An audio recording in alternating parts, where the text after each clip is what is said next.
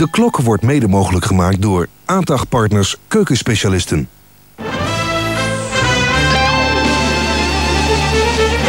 Het RTL Nieuws. Goedenavond. Irak zegt dat de VN-wapeninspecteurs na weken zoeken... nog geen enkel bewijs hebben gevonden van massavernietigingswapens in Irak. Dat is een gewaagde stelling, want de Amerikaanse en de Britse spionagediensten... weten zeker dat Saddam Hussein chemische, biologische en nucleaire wapens heeft.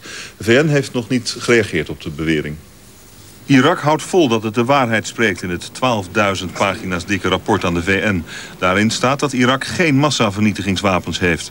De VN, Amerika en Groot-Brittannië houden vol dat Irak ze wel heeft. Maar de inspecteurs die de massavernietigingswapens zoeken... hebben daarvoor nog geen bewijs gevonden. De koude oorlogsvoering gaat onverminderd door. Irak geeft de VN een lijst met honderden namen van wetenschappers... die iets afweten van het Iraakse wapenprogramma. De wapeninspecteurs mogen hen zonder censuur ondervragen. And we think that the purpose of the interview is to uh, to to to pass any gap, any misunderstanding, and to explain any uncertainty. De lijst is een sluwe truc van Irak. Het land wil ermee aantonen dat het volledig meewerkt. Maar de lijst is in principe overbodig. De wapeninspecteurs mogen al met iedereen in Irak praten... en ze mogen overal naar binnen. Intussen treft Irak voorbereidingen voor een mogelijke oorlog. De bevolking krijgt extra eten uitgereikt om een voorraad aan te leggen. Daarnaast oefenen de troepen in Centraal-Irak op oorlogssituaties.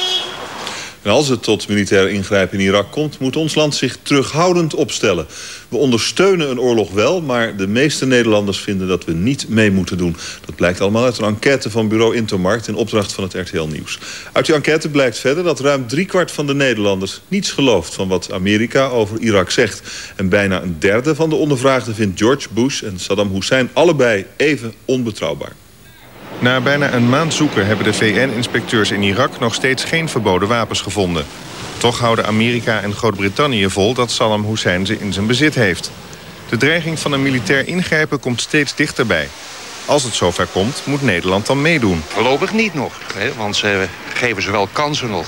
En ja, we moeten afwachten die veiligheidsinspecteurs. Hè. Gewoon niet sturen. Laat die jongens maar lekker uh, thuis blijven. Ik hoop niet dat het zover komt. Ik hoop dat er ergens uh, iemand die zo verstandig is... en daar gewoon uh, anders over zal oordelen. Ik denk dat wel dat Nederland zijn steentje bij moet dragen, ja. Wij vroegen in onze enquête ook of ons land mee moet doen... aan een eventuele oorlog tegen Irak. Nee, Nederland moet helemaal niet meedoen, zegt 29 procent. Nederland moet alleen vanaf de zijlijn ondersteuning geven, zegt 51 procent. Ja, we moeten actief meedoen, zegt 6 procent. En 12 procent vindt dat we Amerika onvoorwaardelijk moeten steunen... omdat we bondgenoten zijn. Vindt u dat er militair moet worden ingegrepen in Irak? Ja, absoluut. Dan moet de VN beslissen. Amerika die doet maar wat hij zelf wil. Ik zou het beter vinden als dat uh, aan de VN wordt voorgelegd. Ik zou hem adviseren om het niet te doen. Moet er eigenlijk wel militair worden ingegrepen in Irak? Nee, ik ben tegen ingrijpen, zegt 27% van de Nederlanders. Ja, maar alleen als de Verenigde Naties daartoe besluiten, zegt 56% Slechts 3% vindt dat Amerika dat zelf mag besluiten. En 12% vindt dat Irak sowieso moet worden aangepakt, door wie dan ook. We wilden ook weten hoe betrouwbaar de leiders van Irak en Amerika zijn. Geen even tweeën. Bush. Ja, ja, allebei niet zo. Ik vind Saddam Hussein wel meer onbetrouwbaar. Nou, ik vind ze op dit moment allebei niet te vertrouwen. Hoor. Saddam en George Bush zijn allebei even onbetrouwbaar, zegt 29 procent. George Bush is onbetrouwbaar, zegt 9 procent. En 56 procent vindt Saddam Hussein onbetrouwbaar. Amerika schildert Irak af als een boevenstaat. Tot slot vroegen wij, gelooft u wat Amerika allemaal zegt over Irak en Saddam Hussein? Dat geloof ik altijd, zegt 3 procent. Bijna altijd, zegt 20 procent. Soms of zelden, zegt 70 procent. En dat geloof ik nooit, zegt 6 procent. Voor de Amerikaan Andrew Whittaker is het een dag om nooit te vergeten. Hij heeft de Powerball-loterij gewonnen... en hij krijgt nu het ongelofelijke bedrag van 170 miljoen dollar. En dat is de hoogste prijs die ooit is uitgekeerd. De gelukkige is een inwoner van het plaatsje Hurricane in de staat West Virginia. I said, let me see that ticket. And I looked at that ticket, and sure enough, uh, we had the winner, and uh, we were very excited. We called our daughter, and then we started calling our family and, and everything. Eigenlijk was het geldbedrag veel hoger, namelijk 315 miljoen dollar. Maar dat bedrag zou worden uitgekeerd over een periode van 29 jaar. Whittaker wilde het geld direct hebben en daarom krijgt hij maar 170 miljoen. Met belastingen eraf houdt hij dan nog 111 miljoen dollar over. Het meeste daarvan wil hij in zijn rioleringsbedrijf steken. China beleeft op dit moment een babyboom. Oorzaak is de Chinese horoscoop. Volgend jaar is het jaar van het schaap en dat voorspelt niet veel goeds voor wie dan geboren wordt. Het gevolg is een enorm aantal geboorten in deze laatste maand van het jaar, dat wel een goed jaar is. In de Chinese ziekenhuizen is het een waanzinnige drukte. De doktoren en verpleegsters kunnen het werk amper aan. Aanstaande moeders overspoelen het ziekenhuis. Hun wens dit jaar nog bevallen. Want dit jaar is het jaar van het paard. Een geluksjaar volgens Chinese astrologen.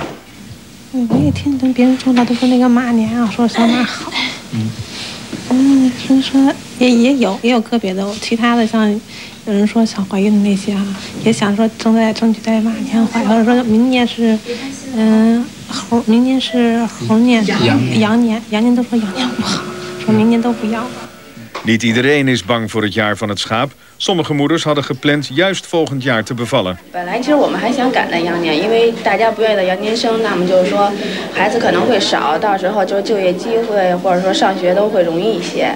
只不过凑巧赶早了，没赶上。 Het medisch personeel is in ieder geval minder blij met het Chinese bijgeloof. 就是压力很大，工作很繁忙，完了工作人员呢，在很很多情况下呢，就是加班加点的上班。 Eén voordeel is er wel. Volgend jaar hebben de verpleegsters het een stuk rustiger. Een kort ander nieuws van vandaag. Noord-Korea heeft nieuwe brandstofstaven in een kernreactor geplaatst. Het internationale atoomenergieagentschap noemt de situatie zeer zorgwekkend. Volgens het agentschap is het een stap op weg naar reactivering van de kernreactor... en ook een stap op weg naar kernwapens. Noord-Korea zegt op kernenergie te zijn aangewezen door een olieboycott. Een grote demonstratie op Cyprus. Zo'n 30.000 Turks-Cyprioten zijn de straat opgegaan voor eenwording van het eiland. Ze willen een hereniging met het Griekse deel van Cyprus. Grieks-Cyprus mag in 2004 lid worden van de Europese Unie... en de Turks-Cypriotische demonstranten willen dat ook. Ze eisen het aftreden van hun leider Denktash. Hij wist geen akkoord te bereiken met de Grieks-Cyprioten. Bij vuurgevechten op de westelijke Jordaan-oever zijn zeven Palestijnen doodgeschoten. Ze kwamen om tijdens verschillende gevechten met het Israëlische leger. Ook werd met groot tumult Hamas-leider Hamza al-Roep naar zijn laatste rustplaats gebracht. Al-Roep werd gisteren tijdens een vuurgevecht met het Israëlische leger doodgeschoten. In Nederland was de beurs gesloten, maar in Amerika is tweede kerstdag geen feestdag, dus er werd gewoon gehandeld op Wall Street.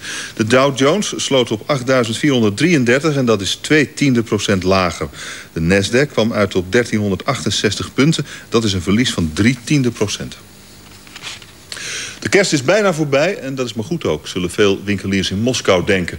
Want het kostte handenvol geld. De winkeliers waren namelijk verplicht hun etalages in kerstsfeer te versieren.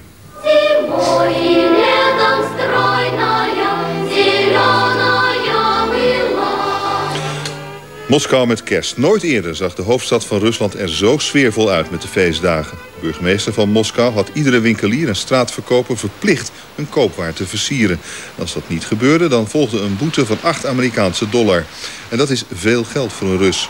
Volgens de Russen is het de burgemeester dan ook alleen te doen om geld en niet om sfeer. Мэр Лужкова, я думаю, абсолютно до лампочки будет. То, что здесь нету Деда Мороза и так далее. И я не придворный художник. Hoeveel ondernemers de actie hebben geboycott is niet bekend. Winkeliers die wel hebben meegedaan doen er verstandig aan hun dure versieringen te bewaren. Volgend jaar moeten ze misschien opnieuw verplicht hun etalages opfleuren. Zuid-Afrika heeft al jaren een bedenkelijke reputatie als het om autokaping gaat. Iedere dag verwisselen tientallen auto's op die manier van eigenaar. De dieven zijn zo brutaal dat ze hun diefstallen en zelfs moorden ongegeneerd vertellen aan onze correspondent. Maar het is ook een gat in de markt, ontdekte een Zuid-Afrikaanse ex-politieman. Hij geeft nu cursussen. Hoe overleef je een autokaping? The move, move, go, go, go. Richard Brusso werkte tot voor kort bij de politie. Hij zag dat het aantal kapingen in Zuid-Afrika ieder jaar opnieuw steeg. Daarom bedacht hij een cursus en begon hij zijn eigen bedrijf. Het is een gat in de markt. The course is very popular. We're looking at about between two and a half to 3,000 people per year that successfully go through the course. Unlock the door. Alida McPherson heeft veel vrienden van wie auto's zijn gekaapt. Ze wil niet dat het haar ook overkomt. Daarom volgt ze nu de cursus. You've got the knowledge. You can practice how to do this in order to maybe save your life one day. Een belangrijke les is, als je het niet vertrouwt, blijf in je auto zitten. Zelfs als je wordt aangereden.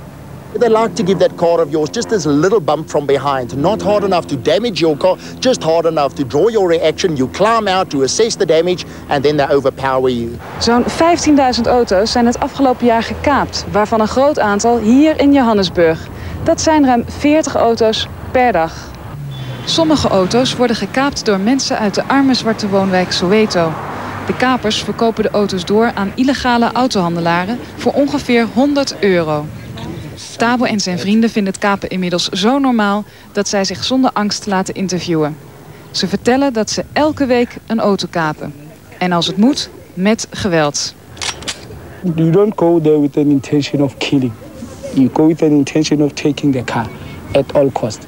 I can't tell the world how many people I've killed. But I have killed people. For a car? For everything, for money, car, money, whatever. As long as I can get money. Voor deze ene keer willen Tabo en Ficho wel even laten zien hoe een kaping in zijn werk gaat. Out, out, out, out, out. Maar morgen zullen ze ongetwijfeld weer een echte kaping doen. Om zo op een makkelijke manier aan geld te komen. Sylvia Brens, RTL Nieuws, Soweto. Dat was het RTL Nieuws van vandaag. Voor meer nieuws en achtergronden kunt u terecht op onze website. Het adres is www.rtlnieuws.nl. En morgen vroeg zijn we er weer met het ontbijtnieuws met uitzendingen vanaf kwart voor zeven. Heel graag tot dan. Voor nu een prettige nacht.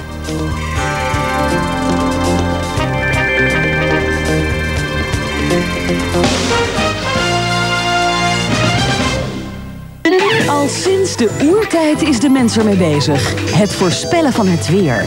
Tot zometeen. Kijk, deze windmolens maken groene stroom voor Essent. Hé, hey, mevrouw Van Stee, heeft u al groene stroom? Vooruit, doen hoor. Groene stroom is veel beter voor ons milieu. En het kost net zoveel als gewone stroom. Hoi mam, hoe was het op schildercursus? Leuk. Ja, dat is jammer. Groene stroom is een initiatief van Essent en wordt gesteund door het Wereld Natuurfonds. Oh, dat is ook leuk. Ja, hè? Groene stroom, duurzaam, niet duurder. Binnenkort toe aan een nieuw interieur. Woonmol Villa Arena. 80 woonwinkels onder één dak. Arena Boulevard, Amsterdam Zuidoost. Zondag reikt Manuela Kemp weer twee Rembrandt Awards uit. Wie die beelden krijgen, dat bepaalt u zelf. Wie zijn op dit moment Nederlands trots?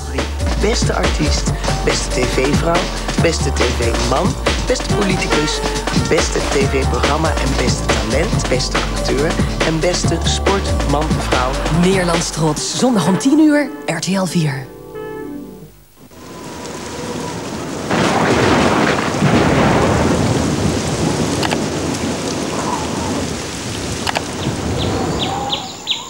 Het weer wordt gesponsord door Sunweb Vliegreizen.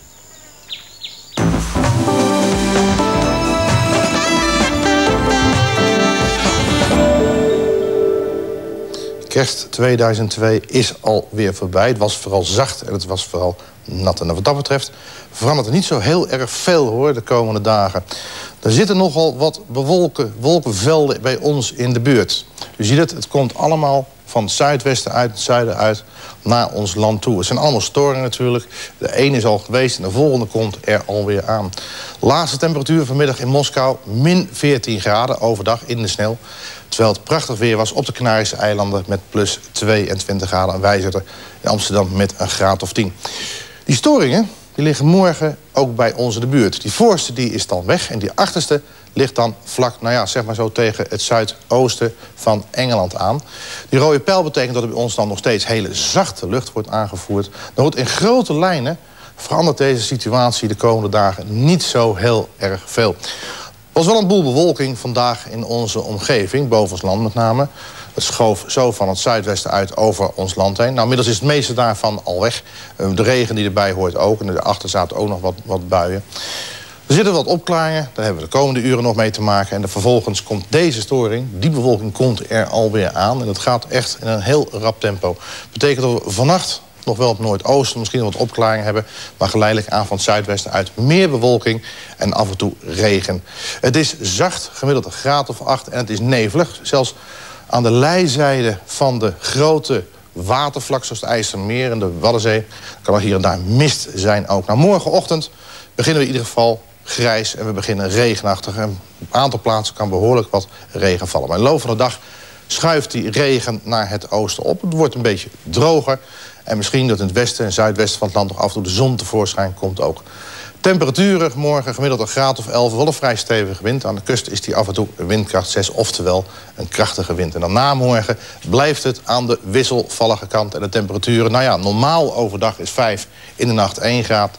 En dan zitten natuurlijk met een gemiddelde overdag van een graad of 10... zitten we daar ver boven. En wilt u nog informatie hebben over uw favoriete skigebied... moet u een sms'je sturen naar 5454... U tikt in ski, een spatie, de skiplaats en u krijgt alle informatie. Prettige nacht.